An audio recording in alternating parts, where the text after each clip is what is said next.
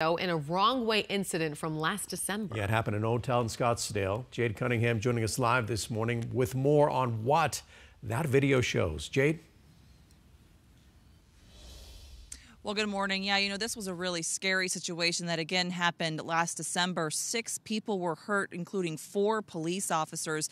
Now, the body cam footage that was just released doesn't show the entire incident, but it does show part of that traffic stop that kind of led up to the, the driver, the suspected driver, just driving away. So, what you see in that video is an officer running up to a car. Another officer is already there, standing by the passenger side of that vehicle. The passenger and officer are arguing. Now, that passenger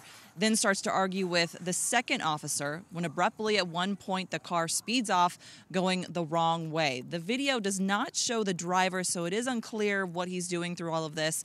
The video, though, does show officers running to their vehicles to try and follow, and that's where the body cam footage ends. The driver, 29 year old Nelius E. Horsley III, was arrested at his house because officers still had his driver's license from that initial traffic stop. He was booked into jail on several charges, including um, aggravated assault on a police officer, endangerment, as well as felony flight. He is expected in court in June. Reporting live, Jade Cunningham, 12 News Today in AZ.